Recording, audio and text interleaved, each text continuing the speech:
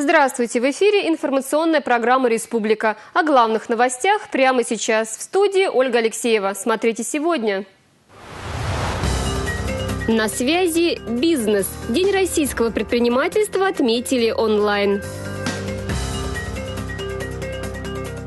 Оперативно и жестко. Ядринский район взят под особый контроль в связи с ростом заболеваемости. Прайм-тайм на удаленке. Инженерные каникулы онлайн в Новочебоксарском технопарке «Кванториум».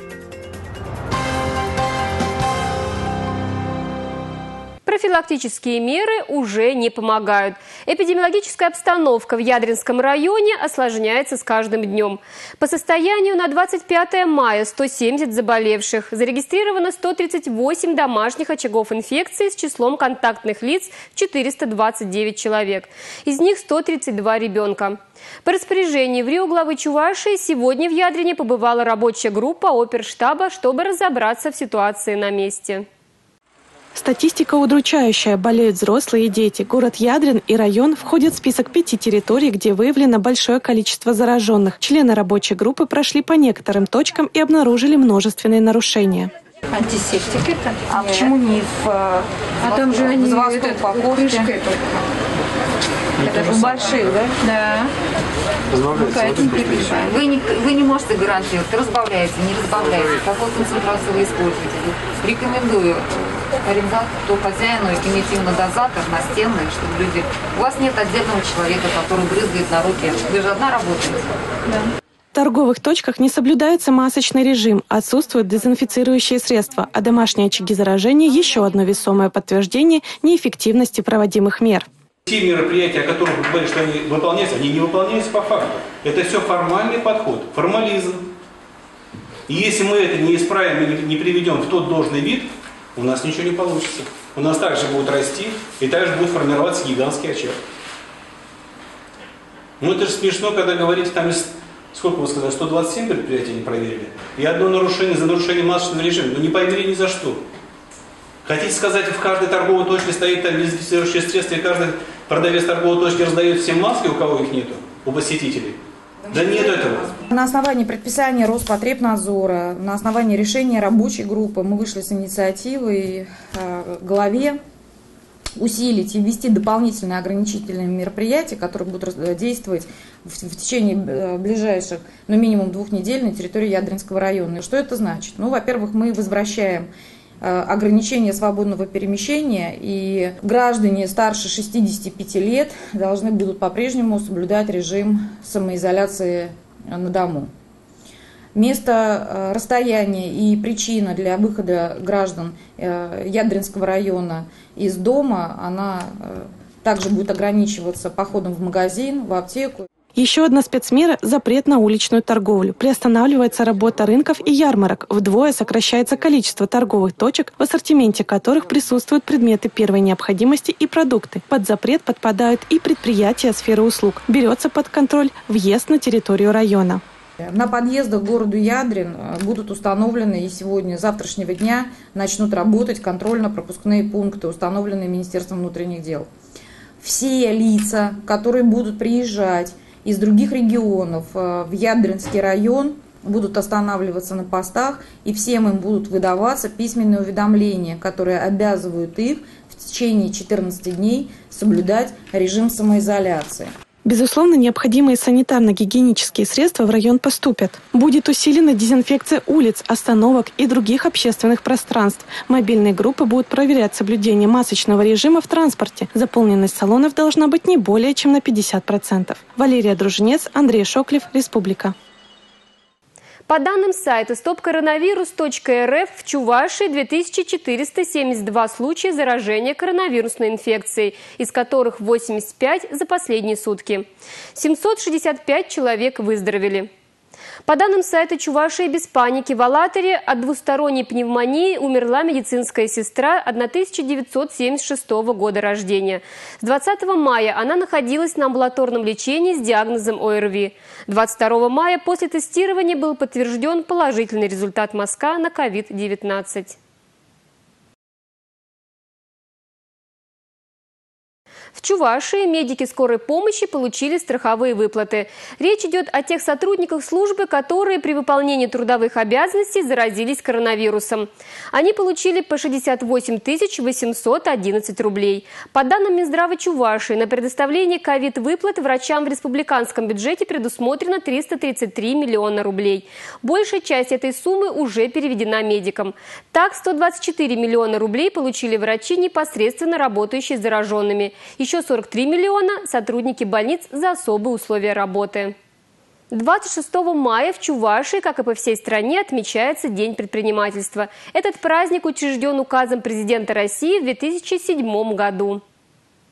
Трансляция торжественного мероприятия велась на национальном телевидении Чуваша, а также в соцсетях. Было несколько прямых включений из торгово-промышленной палаты бизнес-инкубатора. Предпринимателей поздравил в Рио главы Чуваша Олег Николаев. Он был на связи из Дома правительства. Бизнес, с одной стороны, чувствовал в Чувашии себя комфортно, с другой стороны, имел возможности реализовать самые амбициозные цели и задачи. И чтобы и технологически, и ресурсно мы были с вами конкурентны со всеми предприятиями, независимо, где они находятся, на территории Российской Федерации, либо за рубежом. И текущий анализ показывает, что у нас такие возможности есть. Герои дня – люди, решившие когда-то открыть свое дело. И неважно, большое оно или маленькое. Сегодня же объявили имена победителей республиканского конкурса. Как сказал Олег Николаев, это самая целеустремленная и активная часть нашего общества. В числе победителей и те, кто активно использует инструменты господдержки. Это высокая награда, в первую очередь, результат работы всего коллектива аудитской консалтинг группы «Эталон». Сказать большое спасибо всем своим коллегам за их э, труд на протяжении 19 лет служения благородной миссии помогать бизнесу и предпринимателям Чувашской Республики. Всех с праздником! Одно из предприятий, которое по результатам 2019 года оказалось лучшим – завод инновационных технологий. Еще 10 лет назад на этом месте была заброшенная плодово-овощная база. Теперь преуспевающее предприятие – яркий пример, чего можно достичь, имея трудолюбие, предпринимательскую жилку и государственную поддержку. Завод инновационных технологий – один из победителей конкурса «Лучший предприниматель 2019 года». А, мы уже участвуем второй раз. В первый раз мы участвовали, победили в номинации «Лучше малое предприятие». Сейчас мы уже участвуем и а, победили в номинации «Лучше среднее предприятие». Именно господдержка позволила нам а, перейти из разряда малое предприятие уже в среднее предприятие, Завод инновационных технологий специализируется на выпуске низковольтных комплектных устройств. Предприятие известно тем, что выполняет заказы любой сложности быстро и качественно. Во многом потому, что металлоконструкции изготавливают сами. В 2016 году приобрели координатный пробивной пресс фирмы «Мурата». Сразу же удалось повысить и производительность, и качество. Точность данного станка э, исчисляется в тысячных долях. То бишь, поэтому тут качество отличное. Часть затрат на приобретение пресса предприятию возместила по специальной программе Минэкономразвития. Средства вложили в дальнейшее расширение. Сегодня ЗИД – современное предприятие, с которым охотно сотрудничают местные электротехники. Экро, электроприбор, релематика, электроавтомат, и на которые охотно идет работать молодежь. Средний возраст коллектива 32 года, а средняя зарплата в полтора раза больше. В условиях коронавируса многие предприниматели, как и начинающие, так и опытные, столкнулись с трудностями. В связи с этим бизнес-инкубаторы страны усилили работу. Одно из направлений – сервис «Мой бизнес». Как он работает, обсудили на совещании в Рио главы Чуваши Олега Николаева с организациями, оказывающими поддержку малому и среднему бизнесу. Центр «Мой бизнес» создан в рамках национального проекта «Малое и среднее предпринимательство и поддержка индивидуальной предпринимательской инициативы». Обратившись в Центр, любой предприниматель, начинающий или опытный, может получить весь спектр услуг, связанных с началом и ведением бизнеса, подать необходимые документы. Сегодня эта площадка объединяет услуги таких организаций, как Агентство поддержки малого бизнеса, Гарантийный фонд, МФЦ, Центр поддержки экспорта, Корпорация развития, Фонд развития промышленности. Разработали более 30 бизнес-планов. Это, наверное, то, что касается как раз-таки от идей. И провели ряд обучающих программ как для молодежи, так и для бизнеса, а, включая в режиме онлайн.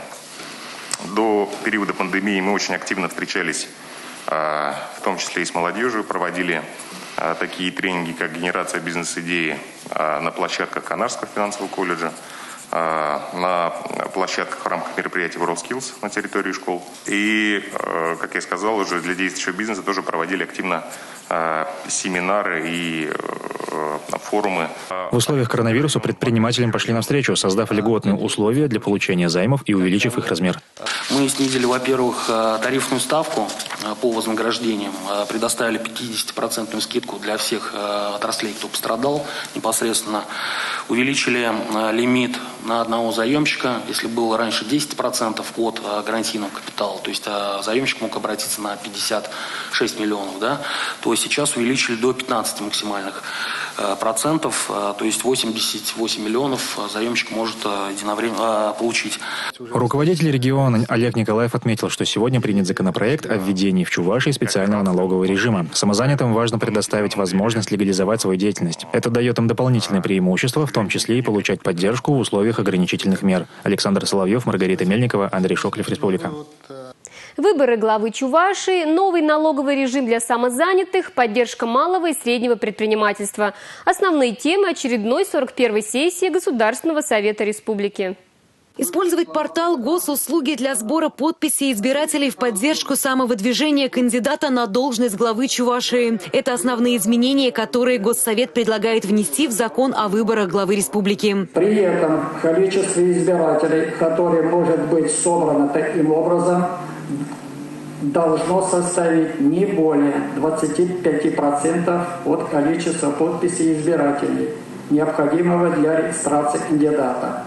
Объединить усилия власти, бизнеса и общественных институтов, чтобы найти эффективные пути преодоления последствий пандемии. Еще одно направление, в котором работают парламентарии. Госсовет решил направить обращение к первому заместителю председателя правительства страны Андрею Белоусову. В нем просьба о предоставлении дополнительных мер поддержки тем отраслям экономики, которые не попали в список пострадавших от пандемии, но понесли значительные убытки. У нас есть э санаторно-курортные учреждения, э, но, к сожалению, поддержку дают э, только субъекты малого среднего предпринимательства. А при этом у нас 50 курортных э, учреждений Чувашской республики не попадают под субъекты малого и среднего предпринимательства, соответственно, не имеют права получать поддержку, хотя также не работают и не получают дохода. Депутаты обсудили и введение в Чувашии специального налога на профессиональный доход. Он позволит комфортно работать самозанятым гражданам и индивидуальным предпринимателям, чей годовой доход не превышает 2 миллионов 400 тысяч рублей. Их ждет упрощенный порядок уплаты налогов. Так, физические лица в год должны заплатить 4% от дохода, индивидуальные предприниматели – 6%.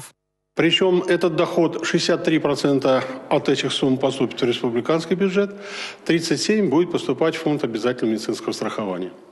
Кроме того, физические лица освобождаются от э, НДФЛ, налог на доход физических лиц, а индивидуальный предприниматель освобождается от уплаты НДС. И вот практика показывает, что это в основном такси, водители такси, обслуживание вот это, э, транспортное обслуживание, парикмахерские, бытовые обслуживания, э, сдача в наем э, квартир, вот что-то, вот такой вот перечень. Нам неплохо для нашей республики дать возможность людям э, работать легально и в то же время небольшую казну пополнять нашего бюджета. Эксперимент по установлению специального налогового режима проводится на территории России с начала прошлого года и продлится до конца 2028 В нем уже участвуют 20 субъектов нашей страны, 10 из них в ПФО. Юлия Важенина, Анжелика Григорьева, Игорь Зверев, Республика. В Чебоксарах полицейские задержали молодого человека, который дважды проник в чужую автомашину ради забавы. На ней он решил прокатить своих друзей. О необычном угоне наши коллеги из пресс-службы МВД Чувашии. ВАЗ-2114 в черном кузове была угнана в начале мая. Хозяин припарковал ее возле жилого дома по улице Кадыкова, откуда ее благополучно увели. На этих кадрах 14-я заезжает на АЗС, чтобы заправиться перед ночной поездкой. Пропажу железного коня автовладелец заметит лишь под утро и обратится в полицию. Были проведены мероприятия, ориентированные наружные наряды, э, наряды дорожно-патрульной службы, в результате чего автомашина была обнаружена также на территории Новоюжного района, то есть злоумышленник, э, покатавшись на ней, оставил ее без присмотра. Однако машина и во второй раз привлекла внимание злоумышленника. Спустя несколько дней, как ее вернули владельцу, 14-ю вновь навестил 25-летний житель Чебоксар. Правда, во второй раз развлечься не удалось. Машина отказалась заводиться, а сам нарушитель был пойман полицейскими с поличным, когда пытался запустить двигатель с толкача. Сотрудниками полиции за что задержан? Да, пытался угнать автомобиль. Хотели поездить. В итоге она не заводилась, начали толкать. В итоге завели? Нет. Вообще не заводили? Вообще не завелась. В настоящее время молодой человек под подпиской о невыезде. По факту неправомерного завладения автомобилем возбуждено уголовное дело. Чебоксарцу, который в 2010 году уже привлекался к ответственности за кражу, грозит до пяти лет лишения свободы. Новые школы и детские сады, формирование цифровой среды и обеспечение школьников горячим питанием. На еженедельном совещании в Рио главы Чуваши Олега Николаева озвучили основные пункты развития сферы образования республики на ближайшие четыре года. Одна из основных целей к 2024 году – обеспечить стопроцентную доступность дошкольного образования для детей от полутора до семи лет. По словам министра образования и молодежной политики Чувашской республики, дошкольное образование сегодня предоставляют 334 детских сада. Это позволяет охватить более 78% детей. Благодаря участию республики в нас в проекте 2019 года было построено 15 новых зданий детских садов на 3080 мест. Однако проблема нехватки мест сохраняется и доступность дошкольного образования для детей старше полутора лет сегодня составляет 83,5%. Поэтому строительство детских садов будем продолжать, и к 2024 году мы должны выйти на стопроцентную доступность дошкольного образования для детей старше полутора лет. Проблема нехватки мест актуальна и для школьного образования. Из почти 140 тысяч школьников 8 тысяч вынуждены учиться во вторую смену. Для решения этой проблемы к 2022 году будет построено 6 новых школ. Важно, чтобы дети имели равные возможности для получения общего образования, независимо от места проживания. Эффективным является проект по созданию в сельских школах центров образования цифрового и гуманитарного профилей «Точка роста», которые позволяют школьникам получать современное качественное образование по таким предметам, как технология, информатика, ОБЖ, а также дополнительное образование по IT-технологиям, медиатворчеству, шахматам, проектной и тренировочной деятельности. Всего на сегодня в 40 таких центрах обучается 12 тысяч детей. К 2024 году мы планируем создать 180 точек роста в сельских школах и малых городах. С большим вниманием подойдут и к обеспечению образовательных учреждений интернетом. Через четыре года все школы будут оснащены компьютерами, презентационным оборудованием и высокоскоростным широкополосным интернетом. Позаботятся и о горячем питании школьников. Для первых четырех классов обеды должны быть бесплатными, сказал президент страны во время ежегодного послания Федеральному собранию.